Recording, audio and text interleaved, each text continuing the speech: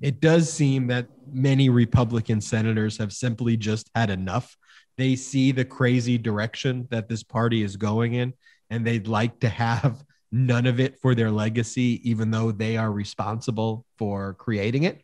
Um, so, for example, on Monday morning, Senator Roy Blunt of Missouri announced that he will be retiring in 2022. Bye bye, bye Roy Blunt. Later. Roy Blunt out there saying goodbye and smoking the Roy Blunt. This makes him the fifth GOP senator that has announced their upcoming retirements. Other senators smoking the Roy Blunt is Richard Shelby, Republican from Alabama, smoking the big Roy Blunt. Rob Portman from Ohio, he's smoking a little a little spliffy Roy Blunt. Pat Toomey, you know Pat Toomey smokes the big Roy Blunts. And Richard Burr from North Carolina, he's been smoking that Roy Blunt for some time now.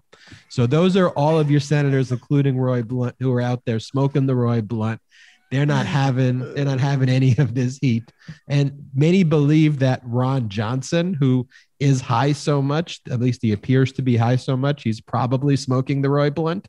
And Chuck Grassley, um, he's in his 90s. He's probably he's probably doing He's putting the grass and Grassley with that Roy Blunt. Yeah, he's probably not even smoking that Roy Blunt. He's probably shooting some. Uh, I won't even go there with Grassley and his pigeon, uh, his pigeon tweets.